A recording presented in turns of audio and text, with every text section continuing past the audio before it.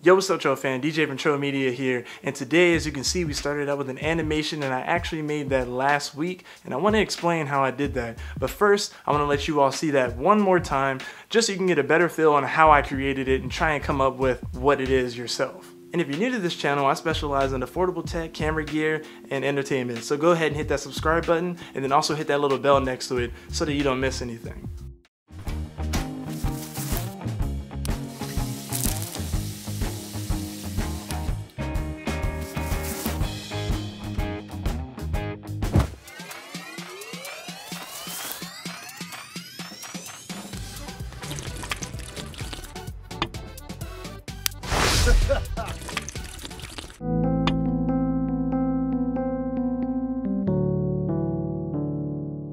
Alright, so now that we're back again, I want to explain exactly what it is. So just like the title says, this is a pixilation animation. So what pixilation is, it's a version of stop motion.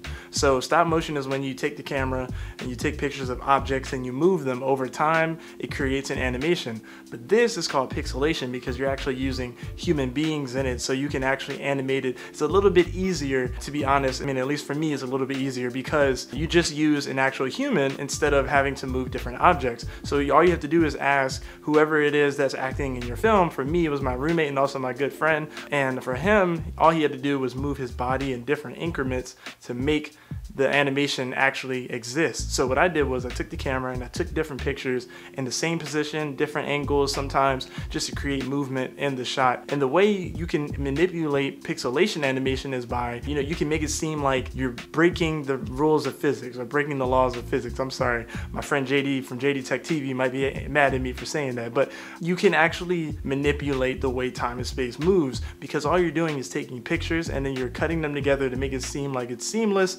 but it is still choppy, of course. And that's what makes this such a cool animation because it allows it to seem fake but real at the same time. So here's some of the steps that I did in order to do pixilation animation and why I'm making this whole video for you all. First off, you want to have a camera. You can use your phone or you can use a DSLR camera. I use the DSLR camera. I'm using a Nikon D3200 right now myself, but you don't have to use that if you don't have one on you as of right now. The next thing you need to know is how to take pictures. All you have to do is press the shutter button. It's kind of easy. You'll be able to do it. Trust me, I believe in you. The next step is going to be creating a story. So you want to come come up with a good animation kind of story to where you can manipulate it to make it seem cool. Just like for me, I had the feet sliding across the ground.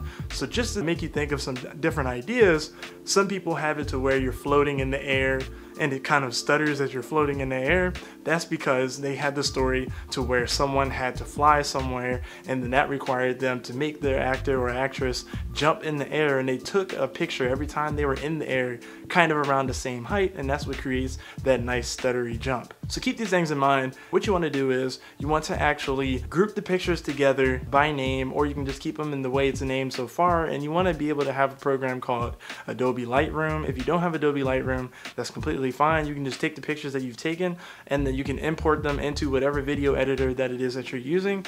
I use Adobe Premiere, but you can also use free editors that are out there like DaVinci Resolve from Blackmagic, or you can use other kinds of free editors that are out there like Wax 2.0. Now that we've covered that, I want you to think of different ways you can edit your video together in order to splice the images and create that seamless video, or should I say pixilation animation. This video is actually called Gotta Have My Cherry Coke. I just had my roommate move in small increments like I was was telling y'all earlier, all I did was throw them into Adobe Lightroom and then I made sure that the white balance was correct and then also any other color corrections that I wanted to do. I also raised the vibrance on the pictures because it added a nice contrasty feel to the pictures and this is a pixilation animation so I didn't want it to seem too real. I wanted it to kind of have an artistic or artsy kind of feel to it. So that's why I added vibrance and contrast, different colors like that, playing with the blacks and also the whites in the images. So you know you want to think of these kinds kinds of things when you're doing pixilation animation and this is going to get you the best kind of content depending on what it is that you're basing it on. If it's supposed to be bright and happy, maybe you don't want to have too much contrast and vibrance in your pictures, but I did for mine. This is great for doing funny things. It uh, can also be a nice storytelling animation technique that you can use. For me, I wanted it to be more comedic in a way, which is why I based it off of having my friend go and chase the cherry coke around the room. Now let's get back into more of the editing side. So what you want to do is inside of the video video editor, you can either use Adobe After Effects or you can use Adobe Premiere. So the way that I did mine, I just threw the pictures into After Effects, added them as a JPEG se sequence, and then from there, I rendered the video out and then I threw it into Adobe Premiere so that I can add sounds to it. And that's why I have all those sounds inside of my video. And I also chopped it up some, held some frames a little longer because I actually took not enough images. I shot 278 images and then I also double timed it inside of Adobe After Effects. Double time is when you, instead of playing back your images at 24 frames per second, you play back at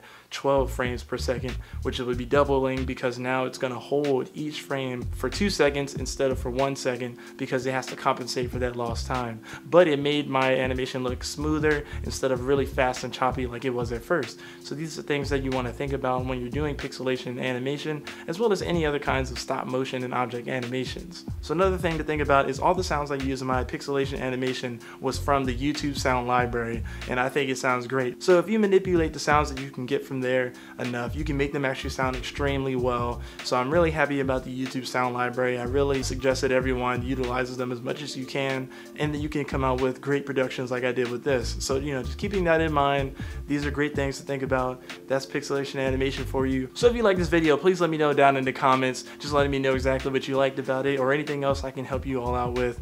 And then also, please go ahead and hit that like button and also subscribe to the channel if you want to have any more content from me. And as I always say, thanks for watching and I'll see you all next time. Peace.